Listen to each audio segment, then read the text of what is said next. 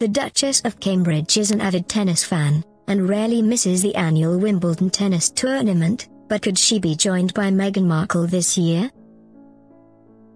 After stating that the Middletons used to queue up year on year to attend the tournament, which this year starts on July 2 in southwest London, Kate is widely expected to be at the tournament for at least a few matches this summer. The Duchess of Cambridge and her husband Prince William are now patrons of the Lawn Tennis Club and the couple are often guests of honor at the bigger centre court matches, such as the men's singles final. And royal watchers are predicting she could well be present for the world-famous tournament, with her sister-in-law Meghan in tow. Meghan is also a big tennis fan and has been spotted cheering on her friend, Serena Williams, who was a guest at the royal wedding, as she competed in Wimbledon last year. Meghan was even granted access to Ems Williams' box as their friendship blossomed, after meeting at a ladies' charity football game, in 2014.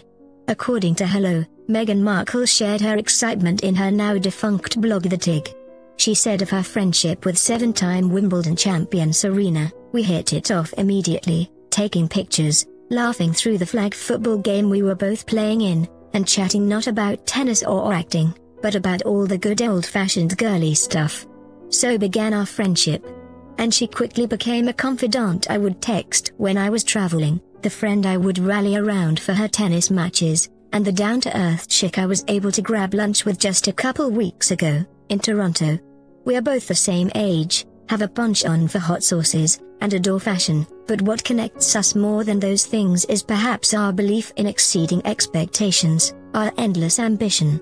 Meghan invited Serena to the royal wedding on May 19, although the Duchess of Sussex could not attend Ems Williams' marriage, to Alexis Ohanian last November.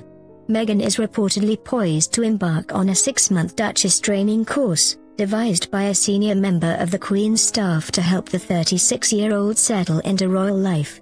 Last week, on May 23, the club announced the full list on men's and women's singles entries for the 2018 tournament.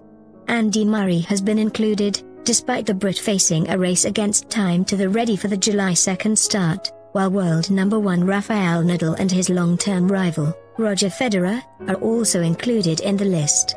Novak Djokovic and Stan Wawrinka, who have both seen their rankings plummet, will also be competing.